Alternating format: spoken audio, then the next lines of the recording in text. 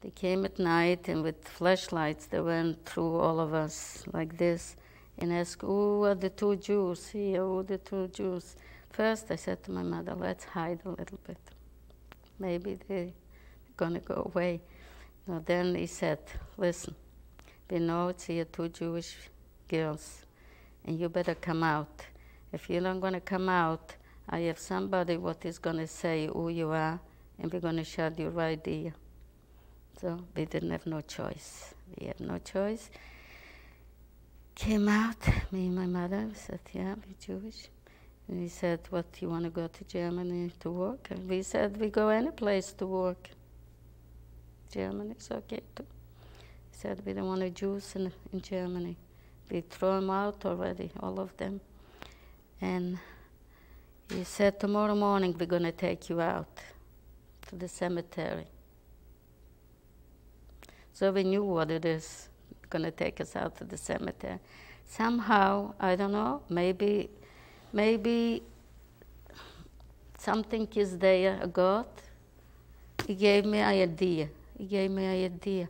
He said, write a letter to this farmer where you work there. Maybe he's going to come and take you out. So I talked with my mother. I said, Ma, you know something? I'm going to write a letter to him. Listen, that's a best chance we have. We don't have another chance. And I wrote a letter. I don't know how I wrote.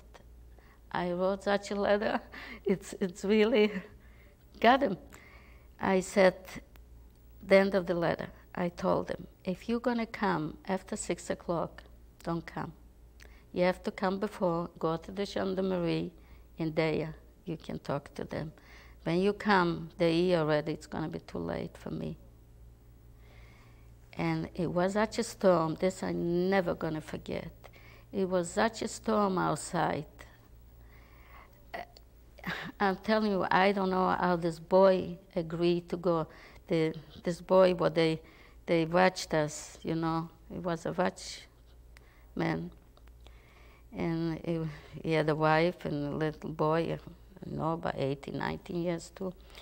And I told him I'm going to give him, I had money, a hundred zlotys. He should go there and there uh, and give him the letter.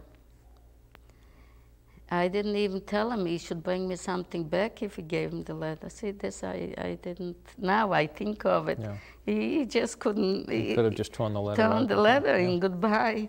No, he did go. He did go and he brought there the letter. See, what I told you, this place where we concentrate if we get lost, her daughter married this, this big farmer. He was like a, a landowner, big farmer, aristocrat, you know, not, not mm-hmm. just a plain farmer. He didn't work, he had people working for him. So she knew me.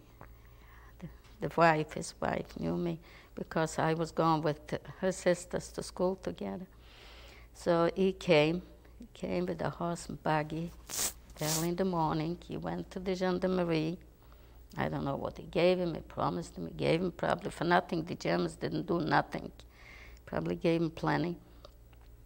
And he came over and he said, "Okay, you both gonna go free." First, they were clapping. They were thinking they'd take us to the cemetery.